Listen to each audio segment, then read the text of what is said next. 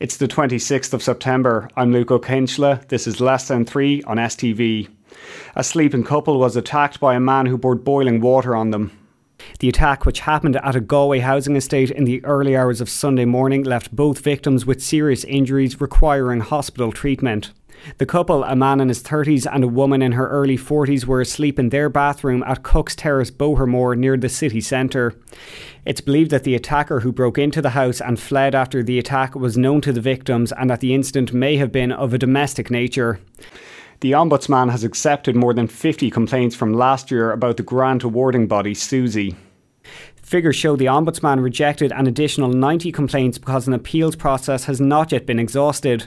The office says it has also received a large number of general inquiries regarding bringing complaints against SUSI to the Ombudsman.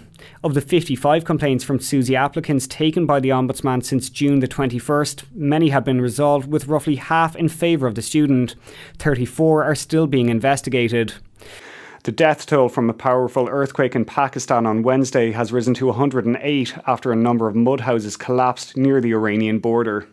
The earthquake struck Pakistan's thinly populated province of Baluchistan on Tuesday and was felt across South Asia.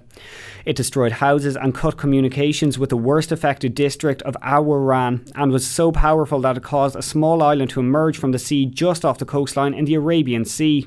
At least 373 people were injured in the quake. Microblogging site Twitter is to double the amount of employees in its Dublin office to 200 by the end of next year. The announcement was made as the company marked the second anniversary of opening its European headquarters in Dublin. The company currently employs 100 staff at its new Pearse Street offices. The new jobs will be in a variety of business areas, including sales, legal, HR, finance, marketing, engineering, and user services. Recruitment for the first 30 of new positions has already begun.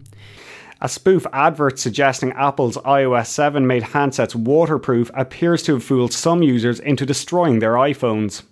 The fake commercial appeared almost identical to Apple's real poster advertised with images of the iPhone on a white background accompanied by neat text.